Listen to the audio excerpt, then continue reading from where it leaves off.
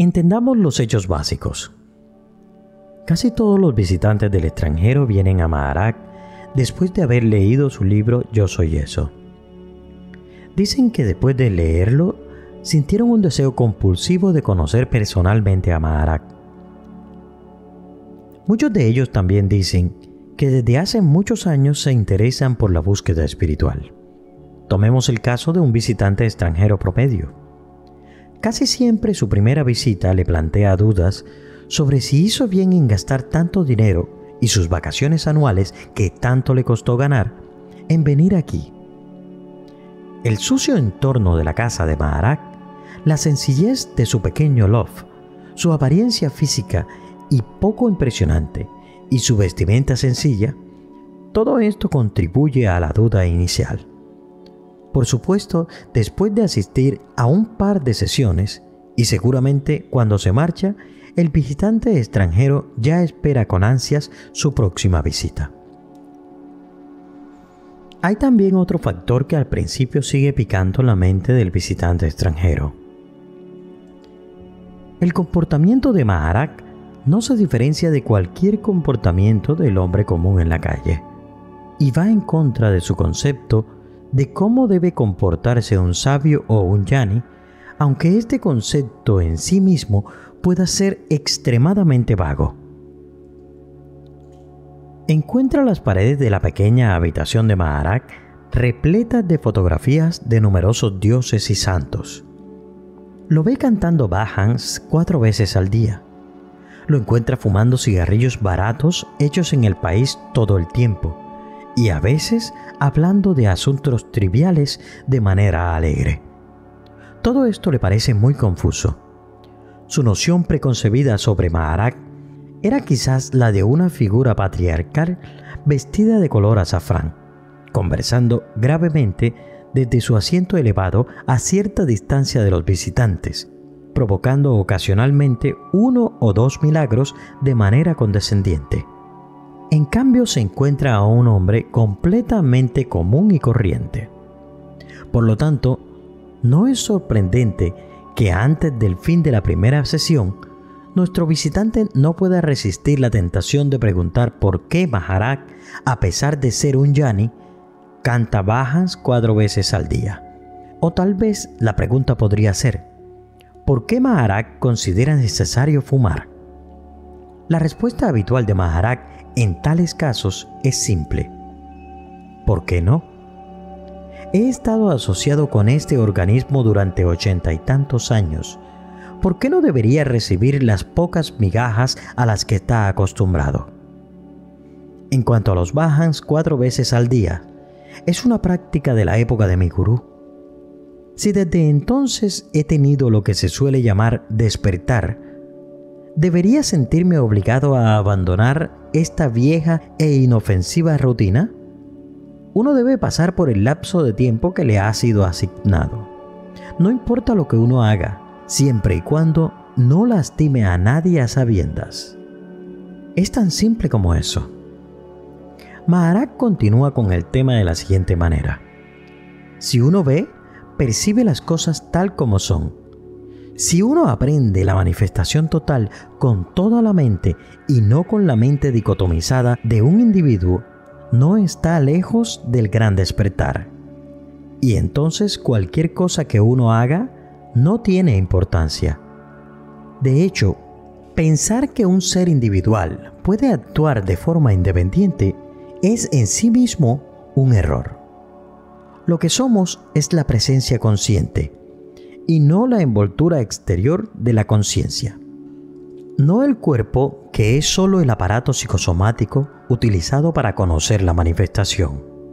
Este aparato es solo el concepto espacio-temporal y como tal no tiene existencia independiente y por lo tanto no puede actuar de forma independiente a pesar de todas las apariencias en contrario. Entendamos este hecho básico. ¿Qué es entonces la vida? La vida en este universo no es otra cosa que el funcionamiento de la manifestación, a pesar de lo que cada individuo pueda pensar. Vistas desde esta perspectiva, las diversas manifestaciones destructivas, como inundaciones y terremotos, pierden su fuerza. Cada cuerpo no es más que el alimento para alguien más. El ratón para un gato.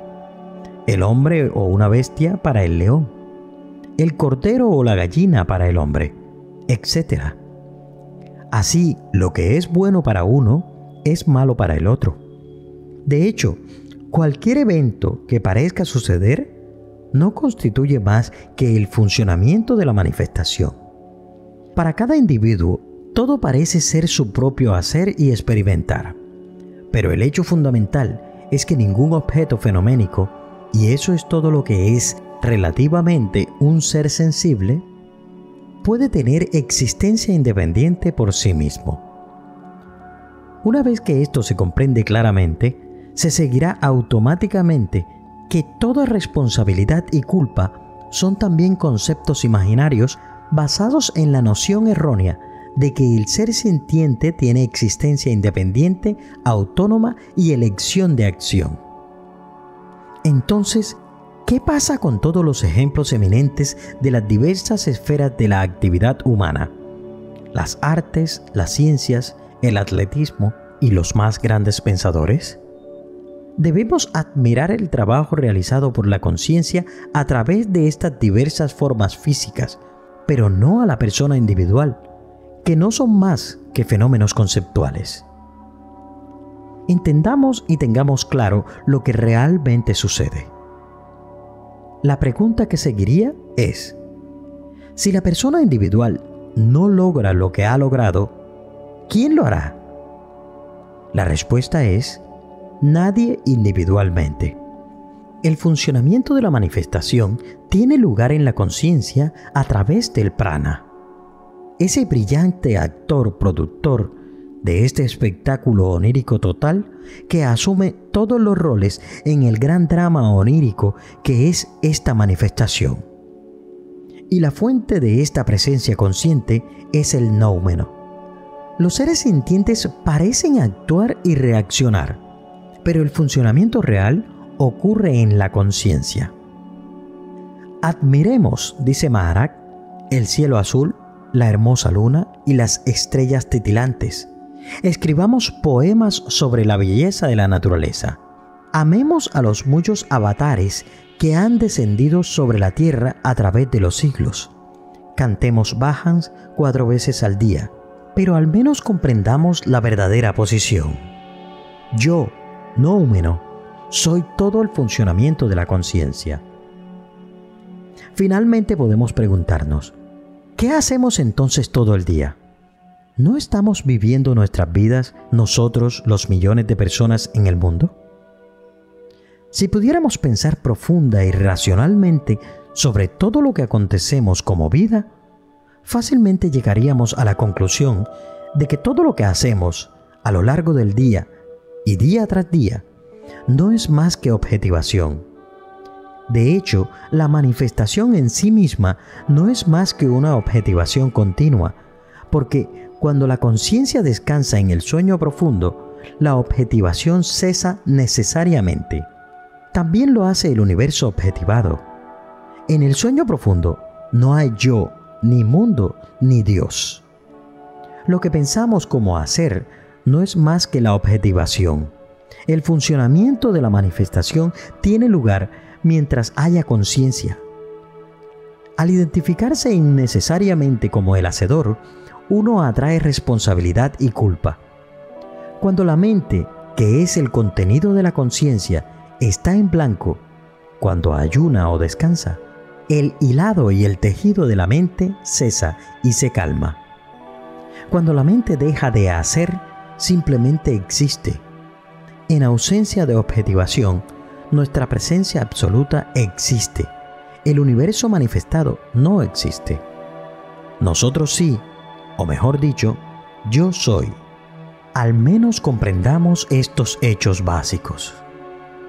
Para saber que has llegado hasta este punto del video, recuerda compartirlo con cualquier grupo de WhatsApp o Telegram que tengas para así poder llegar a más personas con las cuales resuene este mensaje. Recuerda también dejarnos un like si te ha gustado el video. Gracias y nos vemos.